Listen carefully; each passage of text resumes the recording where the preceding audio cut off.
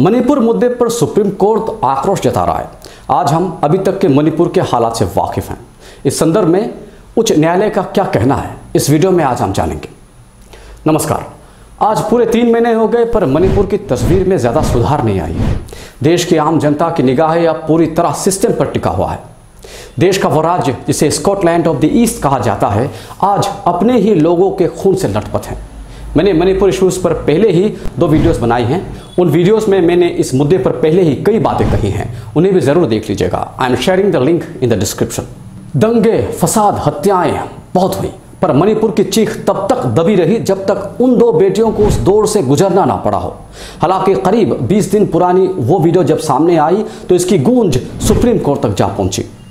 और इस मामले में सीजीआई सहित बाकी जजेस बहुत गंभीर मालूम पड़ रहे हैं। अदालत ने मणिपुर के प्रशासन को इनकेपेबल बताकर यहाँ के डीजीपी को 7 अगस्त की कार्यवाही में खुद उपस्थित रहने को कहा है। अब कोर्ट ही एक्सप्लेन कर पाएगा, हमें बता पाएगा कि आखिर मणिपुर की हिंसा इतनी बेकाबू क्यों हुई? हम आम लोगों के भी कई सवाल हैं और उन सारे सवालों का जवाब हमें शायद बहुत जल्द मिल जाएगा।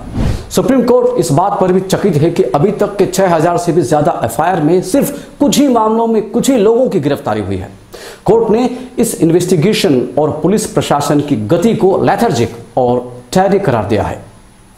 यहाँ हालात इतने बुरे हो गए हैं कि लोगों को अपनी सिक्योरिटी अपनी हिफाजत के लिए, अपने हाथों में बंदूक लेने पड़ रहे हैं। और ऑफकोर्स कुछ तो हिंसा करने के लिए बंदूक उठा रहे हैं। कोर्ट ऐसा मान रही है कि मणिपुर में इतने जुर्म हुए हैं कि अब इसे सीबीआई को भी सौंपना नामुमकिन है। अभी तक की जो 6000 के करीब एफआईआर दर्ज है, उनमें से सीबीआई कितनों को इन्वेस्टिगेट करेगी? शायद इतनी बड़ी संख्या में केस को लेने के लिए हैंडल करने के लिए सीबीआई का इंफ्रास्ट्रक्चर ही कम पड़ जाए। कोर्ट इस वक्त मणिपुर राज्य सरकार की मशीनरी से भी इसलिए नाराज़ है क्योंकि जो घटना चार मई दो हज़ार तेईस को घटी थी और जिसका ज़ीरो एफ़ आई मई को किया गया था तो उस पर कार्रवाई करने में इतनी देरी क्यों हुई? यहाँ सुप्रीम कोर्ट पुलिस वालों के एक्शन से भी संतुष्ट नहीं है। जिन महिलाओं के साथ बदसलूकी हुई, उनके कथन के मुताबिक पुलिस ने उन्हें खुद भीड़ के हवाले की थी। पर अगर हम इसमें ज़रा महसूस करें तो मेरे ख्याल से पुलिस ने उन्हें खुशी से भीड़ को नहीं सौंपी होगी। भीड़ उन पर भारी पड़ गई होगी और उनसे उन महिलाओं को शायद छीन ले गई होगी। लेकिन कोर्ट ने सवाल किया है कि क्या उस पुलिस टुकड़ी के पुलिसकर्मियों से पूछताछ की गई या उनमें से कितनों की गिरफ्तारी हुई है? इन सवालों में कोर्ट ने मणिपुर डीजीपी को जवाबदारी माना है। कोर्ट ने यह भी कहा है कि इस बहाने के देश के बाकी हिस्सों में भी हिंसा हो रहा है तो मणिपुर के हादसे और खास करके महिलाओं से जुड़े उस हादसे को दबाया नहीं जा सकता। और जैसे कि मैंने पहले कहा, सात अगस्त यानी मंडे यानी कल इस केस की सुनवाई है। अदालत का फैसला जो भी हो, पर मणिपुर के इस हालत की ज़िम्मेदारी खुद यहाँ के नागरिक हैं। अब शायद ये मुद्दा राजनीतिक मोड़ ले लें। पर सच ये है कि ये जो आग आज भड़की है, वो कई दशकों से उनके सीने में शायद दफन थी। लेकिन एक सच्चाई ये भी है कि इस मामले में हर कोई इन्वॉल्व नहीं है। मैंने मणिपुर पर अपनी पिछली वीडियो में भी कहा था कि यहाँ मैथे और ट्राइबल्स दोनों ही समुदाय के लोग, मैं तो कहूँगा ज़्यादातर लोग एक दूसरे का सहारा बन रहे हैं, एक दूसरे का साथ दे रहे हैं, उनकी मदद कर रहे हैं। यहाँ इंसानियत पूरी तरह मरी नहीं है, अभी भी ज़िंदा है। जहाँ ट्राइबल वुमेन ने भी मैथे लड़की की जान बचाई है तो मैथे ने भी कई ट्राइबल्स की जान बचाई है। मैं आज भी यकीन के साथ कहता हूँ, और आप भी शायद इस बात से सहमत होंगे कि इस घटना में निसंदेह कुछ ही मुट्ठी भर लोगों का इंटरेस्ट है। यह आग लगी नहीं, लगाई गई है। मैं नहीं जानता वो कौन है, पर एक बात तो सच है कि हम बेवजह मर रहे हैं, बेवजह मार रहे हैं। आज मणिपुर और हरियाणा एक उदाहरण है। आज कितनी शर्म की बात है कि यहाँ मणिपुर में यहाँ के लपटे कम नहीं हो रही थी या हरियाणा में धर्म के नाम पर लोग एक दूसरे की चाल के प्यासे हो गए हैं। अरे, ये बात हम कब समझेंगे कि अल्लाह, भगवान, गॉड, जो भी है, सब एक ही है? पता है धर्म का सिलसिला कैसे शुरू हुआ? ये धर्म हम इंसानों ने शुरू में अपने अनुशासन के लिए सेल्फ डिसिप्लिन के लिए बनाए थे।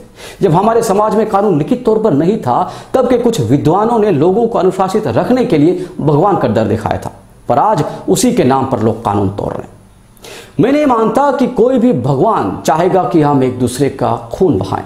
अगर कहीं लिखा है तो I am hundred percent sure that is misinterpreted हम जिस देश में रहते हैं ना, भारत, यहाँ रहने के लिए दिलों में नफरत पालकर नहीं रहा जाएगा। यहाँ रहने के लिए हमें दिलों में मोहब्बत पालनी ही होगी, क्योंकि भारत एक ऐसा देश है जहाँ इतने धर्म और आस्था हैं जो दुनिया में कहीं भी नहीं पाई जाएगी। नफरत और हिंसा सिर्फ़ विनाश लाता है। अगर किसी बात का हल चाहिए तो बातचीत ही वो मात्र ज़रिया है जो हमें सही नतीजे तक ले जाएगा। हम कब तक जात के नाम पर, धर्म के नाम पर लड़ते रहेंगे? इसी नासमझी ने तो हमारे हिंदुस्तान के टुकड़े कर दिए थे। आपने अफ्रीकी देश सुदान के बारे ज़रूर सुना होगा। कहते हैं सुदान में इतनी क्षमता है, वहाँ इतने पेट्रोलियम हैं, इतने नेचुरल रिसोर्सेस हैं कि ये पूरा अफ्रीका को ही सप्लाई कर सकता है। लेकिन सुदान आज भी एक गरीब देश है। क्यों? क्योंकि यहाँ हिंसा है, वॉर है। और दुख की बात है कि यहाँ भी कुछ ही लोग हैं जो अमन नहीं चाहते, प्रगति नहीं चाहते, ताकि उनका दबदबा बना रहे। और लोग बेवकूफ़ बन रहे 2011 में दो हिस्सों में बंटने से पहले सुदान, अफ्रीका और दी अरब लीग का सबसे बड़ा देश था। Now both the are by Algeria खैर इवेंचुअली मैं कहना चाहता हूँ कि ज़्यादातर मामलों में अपने घर की हालत के जिम्मेदार हम खुद होते हैं।